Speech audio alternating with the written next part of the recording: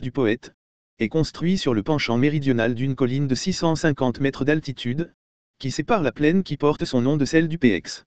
De cette colline dérive le nom du village, Podietum, la petite hauteur, diminutif de podium, montagne en basse latinité, s'est contracté en potom et est devenu poète.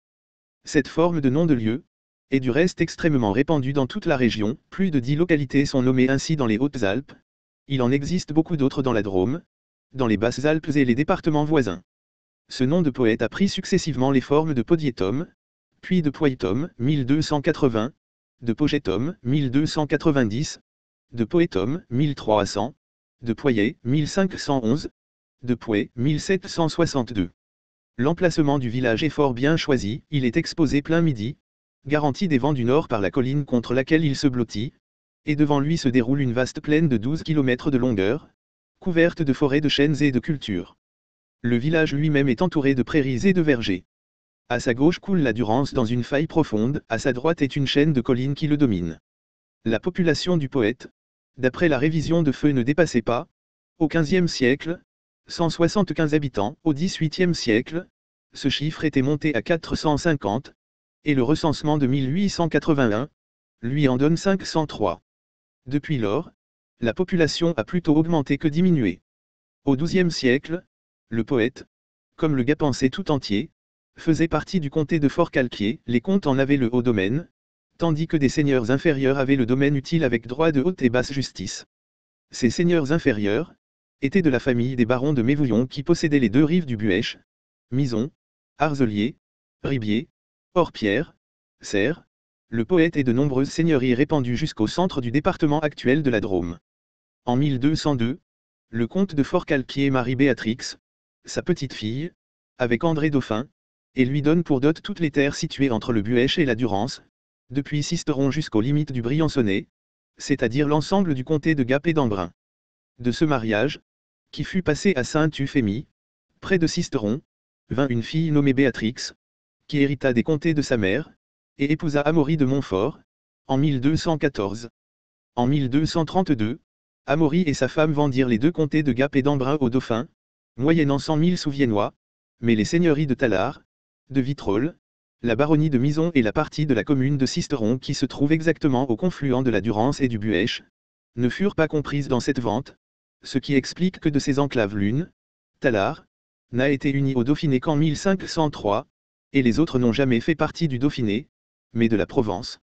Au milieu de la plaine boisée qui sépare le poète de Sisteron, à 50 mètres à gauche de la route, on peut voir dans un taillis de chêne, une borne d'un mètre de hauteur sur laquelle sont sculptés grossièrement un dauphin d'un côté, une fleur de lys de l'autre, elle marque les limites précises entre la Provence et le Dauphiné. Aussitôt après avoir acquis le gapensé de son gendre et de sa fille, le dauphin installa à UPX un bailliage avec juridiction sur tout le comté, et s'y fit construire un château, nommé Palia dans les chartes, et qu'il habita quelquefois. Ce bailliage fut transféré à Serres en 1298, puis à en 1511. À partir de 1298, UPX ne fut plus qu'une châtellerie.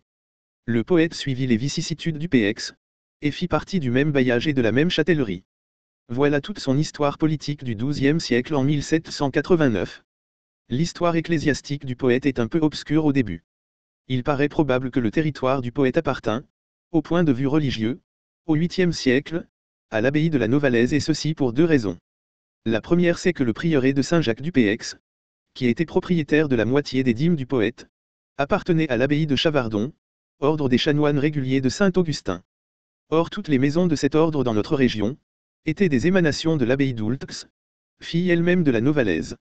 La seconde, c'est que la paroisse du poète, à laquelle appartenait l'autre moitié des dîmes, était sous le vocable de Notre-Dame et Saint-Pierre, or la plupart des paroisses qui sont sous ce vocable ont été fondées dans nos contrées par les moines de Saint-Pierre de la Novalaise. Il est donc très probable, sinon certain, que le poète appartint, au 8e siècle, à l'abbaye de la Novalaise, et qu'après la destruction de cette abbaye au Xe siècle, l'abbaye de Chavardon, fondée avec une partie de ses débris, continua à avoir la juridiction ecclésiastique sur la paroisse du poète, juridiction qu'elle conserva jusqu'à la Révolution. Il est certain qu'au XIIe siècle la paroisse du poète existait déjà. Elle possédait plusieurs chapelles dont l'une dédiée à Notre-Dame, et l'autre à Sainte-Anne, une troisième, dont le vocable m'est inconnu, était située dans ou près le château. Comme je l'ai dit, le curé et le prieur de Saint-Jacques du PX se partageaient les dîmes par égale part. En 1612, on créa dans la paroisse un secondaire pour aider au service religieux. Au commencement du XVIe siècle, le poète possédait une confrérie de pénitents du Saint-Esprit, qui avait des revenus assez importants pour être taxé dans le rôle des décimes de la cour de Rome. L'histoire féodale du poète est plus compliquée que son histoire ecclésiastique, mais aussi les documents que l'on peut consulter sont très nombreux. J'ai dit qu'aussi haut que l'on pouvait remonter, les seigneurs du poète étaient de la famille des barons de Mévouillon. Le premier que j'ai trouvé est Rembaud de Mévouillon vivant en 1120, Galburge de Mévouillon, son arrière-petite-fille, vendit au dauphin, le 9 octobre 1264, tout ce qu'elle possédait au poète avec le droit de haute et basse justice, sauf les droits du comte de Fort-Calquier. À peine propriétaire de cette terre, le dauphin l'inféoda à Philippe de Lavenau, sénéchal de Provence, seigneur de Serres et de Valerne. Ce personnage était le fils de Robert de Lavenau, de Salerne, près de Naples, qui était venu d'Italie professa le droit en Provence et y avait acquis une situation considérable. Cette famille s'éteignit à la troisième génération et, en 1291, le dauphin racheta la terre du poète et la partagea en deux coseigneuries, la seigneurie majeure avec les droits de justice, et l'inférieure avec seulement les droits utiles. Depuis 1297, la seigneurie majeure passa de main en main, revendue, rachetée à plusieurs reprises. Le premier possesseur, en 1297, fut bienvenu de Campé, dit bienvenu de Pavie, jurisconsulté italien qui était venu, comme tant de ses compatriotes, professa le droit en Dauphiné et y avait acquis une haute situation administrative. Après lui nous trouvons les familles Sieli, Panchaud et le prince d'Orange. Cette seigneurie majeure se vendit une moyenne de 2500 florins d'or, c'est-à-dire environ 160 000 francs à la puissance actuelle de l'argent. En 1379, le dauphin la reprit, mais la revendit un siècle plus tard aux seigneurs inférieurs, de telle sorte qu'à partir du XVe siècle, les seigneuries majeures et mineures furent confondues dans les mêmes mains et ne furent plus séparées. La seigneurie inférieure fut acquise au dauphin le 17 août 1317, par Pierre Siely, originaire du PX, et qui avait fait son chemin dans la magistrature. le Siely, son fils, la revendit au dauphin le 29 avril 1339, pour 3717 florins d'or, c'est-à-dire pour 275 000 francs environ à la puissance actuelle de l'argent. Cette vente fut annulée en 1341. Guillemette de la Tour, veuve de Seleucie épousa en 1345, Guillaume de Rame, et depuis cette époque jusqu'en 1640, la baronnie du poète resta entre les mains de cette puissante famille embrunaise. Quelques-uns de ses membres, tels que Saufray de Rame, 1500 à 1557, acquirent une certaine réputation comme capitaine dans les guerres d'Italie. À la fin du XVIe siècle, les rames du poète, paraissent avoir eu une médiocre situation de fortune, Claude de Rame engage, le 8 avril 1583, la moitié de la baronnie du poète à Claude de Périssol, auquel il devait 4500 écus d'or. Le 20 janvier 1611, Lucrèce de Rame et Jean de Barras, son mari, engage l'autre moitié à Florent de Renard, pour 102 000 livres. Vers 1600, Lucrèce de Villeneuve, veuve de Balthazar de Rame, épousa un cousin éloigné de son mari, Mathieu de Rame, seigneur des Crottes, Mison et Volonne, gouverneur de Digne, maréchal de Caen, qui réunit entre ses mains la baronnie entière en achetant tout ce qui appartenait encore à d'autres membres de sa famille, 1621.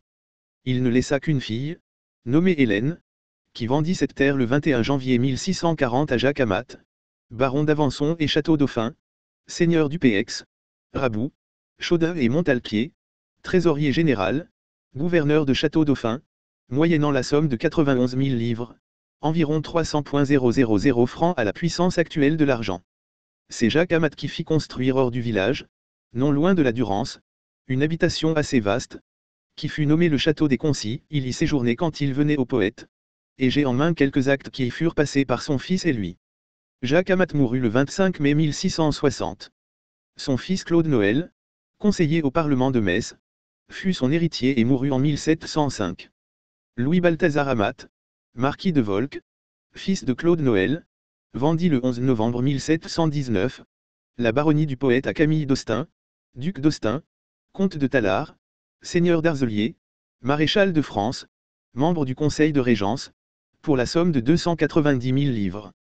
Marie-Joseph, fils de ce dernier, étant mort sans postérité en 1755, son immense héritage fut dévolu à sa cousine, la marquise de Sassenage, qui revendit la même année la baronnie du poète, à Antoine de Gauthier, conseiller au Parlement de Provence. Cette famille, dont l'anoblissement ne remontait qu'à 1734, possédait encore la baronnie du poète en 1789, elle émigra, ses biens furent confisqués et vendus à vil prix. Le dernier membre de la famille de Gauthier, Henri-Joseph, est mort à Aix en 1832. Un de ses frères, officier d'un rare mérite, avait été l'un des émissaires les plus actifs de Louis XVIII en Provence. Après le coup d'état de Fructidor, il tomba entre les mains des Jacobins et fut fusillé, sans jugement dans les environs de Nice ou de Toulon. Le portrait de Jacques Amat existe dans l'église du PX, je possède celui de Claude Noël, en robe de conseiller du Parlement. Cette branche de la famille Amat, fixée à Aix, s'est éteinte en 1808. En la personne de Marie Amat, épouse de Dupérier. La baronnie du poète se composait, outre les droits féodaux, de plusieurs beaux domaines, entre autres de la Grande et la Petite Sainte-Anne, défrichés dans les blaches du poète et d'une superficie de plusieurs centaines d'hectares, et de vastes prairies autour du village. L'ancien château, situé au sommet de la colline, n'était probablement qu'une tour carrée datant du XIIe siècle, il n'en reste plus aujourd'hui qu'un paillant de mur. Il n'y a jamais eu de château proprement dit au poète, car les seigneurs n'y ont résidé que rarement. On ne sait même pas où était située leur habitation seigneuriale avant la construction du château des Concis. Un écrivain récent compte que la baronne d'Allemagne obtint, en 1586, la restitution du château du poète, après la mort de son mari, chef des protestants de Provence, à condition d'en démolir les fortifications. Il s'agit du poète dans les Basses-Alpes et non dans les Hautes-Alpes, dont jamais les barons d'Allemagne n'ont été seigneurs. Le poète n'a pas d'histoire, on ne sait rien de sa vie municipale, aucun événement notable ne s'y est produit, il n'y existe aucun monument qui vaille la peine d'être cité. Pourquoi cela peut-on se demander? Parce que le poète était tout voisin d'un centre de population beaucoup plus important qu'il a absorbé, UPX. Il ne faut pas juger le UPX du Moyen Âge par ce qu'il en reste aujourd'hui, un petit nombre de maisons, dont plusieurs abandonnées, couronnant un sommet autour des ruines d'un château, et un certain nombre de fermes éparses dans la campagne. UPX, ancien chef-lieu d'un Pégase romain nommé Pégase Eposianus, était, au XIIIe siècle très peuplé, très commerçant, toutes les autorités delphinales en pensaient, le bailli, les juges delphinaux, y résidaient, des foires très suivies s'y tenaient, on y trouvait une colonie de juifs qui faisait un commerce lucratif avec toute la région, le dauphin y avait un palais où il résidait quelquefois, en un mot, UPX était alors un bourg prospère. Le 10 mai 1253, le dauphin accorde aux habitants du PX une charte de liberté fort importante, cette charte est renouvelée avec des stipulations plus favorables encore le janvier 1263, sur les instances du juif Abraham, marchant à UPX, et moyennant la somme, assez forte pour l'époque, de 60 livres viennoises. Jusqu'en 1298, UPX resta le centre de toute l'administration delphinale en Gapensé. En 1298 il en fut dépouillé au profit de Serres et sa décadence commença mais cette décadence fut assez longue à produire tous ses effets et à la fin du XIVe siècle, UPX était encore un bourg populeux et commerçant. Cela explique pourquoi le poète, situé tout à côté, n'a jamais eu aucune importance. Lorsqu'au milieu du XVIIIe siècle, une belle route fut construite par les ingénieurs royaux, et traversa le poète, lorsqu'un roulage considérable s'y établit, le poète, entra dans l'ère de prospérité. Pour n'en donner qu'un exemple, ces maîtres charrons étaient célèbres dans la contrée et ne pouvaient suffire aux commandes qui leur étaient faites. Cela a bien marché pendant 150 ans, puis le chemin de fer a été construit laissant de côté la vallée de la Durance, la route est devenue déserte et le poète est retombé dans sa solitude. Ceci a tué cela et pour longtemps. Il ne reste plus aux habitants du poète qu'à améliorer leurs procédés et leur outillage agricole, à créer des prairies, ou faire de l'élevage ce qui est toujours très rémunérateur quand on s'en occupe avec intelligence.